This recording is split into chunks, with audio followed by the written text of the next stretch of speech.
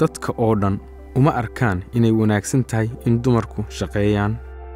Waxaa laga yaabaa inay isleeyihiin uma fiicna carruurta haddii aysan hooyadood haynin ama waxay u arkaan in dumarku guriga joogaan oo qabtaan shaqada guriga iyo cunto samaynta beddelka shaqada.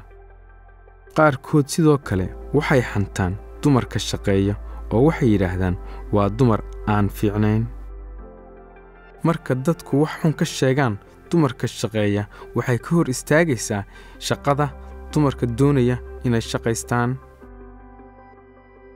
Iyaga ama nimankooda waxaa laga yaabaa inay ka baqaan waxa dadka kale ay ka sheegayaan laakiin dumarka iyo ragga badankiisa ee denmark waxay u arkaan wax fiican in dumarku ay shaqeeyaan denmark qof walba wuxuu xaq u leeyahay inuu shaqaysto rag iyo dumarba.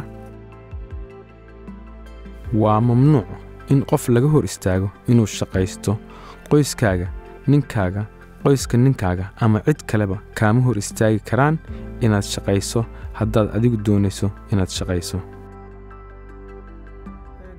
Ragga qaarkood kama helaan inay dumarku shaqeeyaan taasoo ay keentay dhaqankoodii hore oo aynu dumarku shaqaynin. Oo waxay u arkaan inay halkan ugu noolaan karaan sidii waddankoodii laakiin way qaldan yihiin.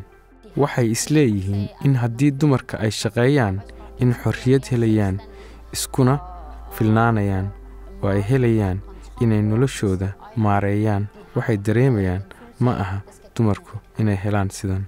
Waxay ila tahay inay dumarkiyo ragguba shaqo tagaan markaas si fiican bay ugu dhex noolaanayaan bulshada dhexdeeda.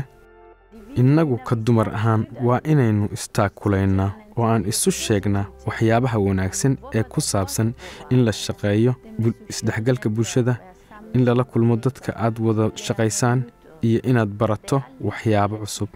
Waa nolol qiimo leh waayo waxaad maalin walba u soo kacaysaa waxaad jeceshahay. Dumarku waa inay adag yihiin oo istaakuleeyaan denmark waa khasab in la helaa laba mushahar marka la wada deggan yahay. Waxaan aad ugu faraxsanahay inay xaaskaygu shaqayso oo aannu helno laba mushahar